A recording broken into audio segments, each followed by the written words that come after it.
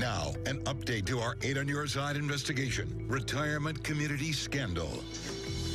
University Village ownership locked in a life and death struggle with the state, and now clients and customers have become collateral damage. The state contends the new owners of the retirement community are cash strapped and want them gone. University Village owners argue that the state put a hold on their money, tying up millions of dollars. Meanwhile, senior investigative reporter Steve Andrews found people living there or even thinking about it are the ones paying the price, right, Steve? Doesn't it seem like it's the little guy who always takes it? Mm -hmm. Yeah, it does to me, too. Some folks living at University Village tell me services they're paying for are fading. Others, trying to get their fully refundable money back, are left hanging. 59 years ago in 1956, Sandra and Harold Carson said their I do's.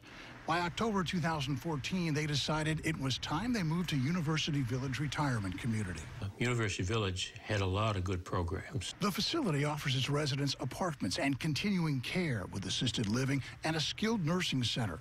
So Harold paid a $1,500 down payment. By December 2014, Sandra stopped eating and was hospitalized. The news was not good. It turned out to be the dementia was causing the not eating. When Sandra became unable to walk or stand, Harold decided to stay put. His condo had room for a live-in caretaker. He asked for his fully refundable deposit.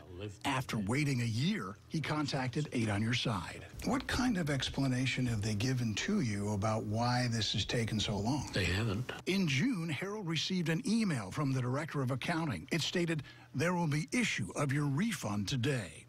The ownership of University Village is in a life and death struggle with the state.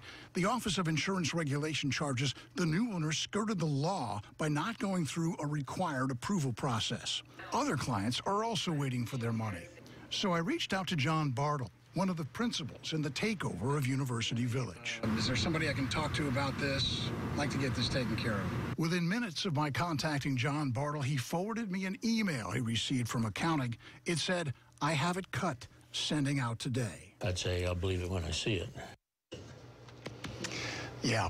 As I mentioned, Harold Carson is not alone. The Office of Insurance Regulation contends University Village ownership has failed to pay more than $4 million in refunds owed to residents, their estates, and prospective residents. And what's their story? Well, their explanation is, at least according to John Bartle, is that the money is in the queue, but the state won't allow the ownership to release it. And this is all dragging on in court. Going to be another hearing on Monday in Tallahassee. Meanwhile, these poor people yeah. are seeing their money just kind of fade mess. away in right. legal bills. Fade away. Yep. All, all right. Steve. Thanks, Steve.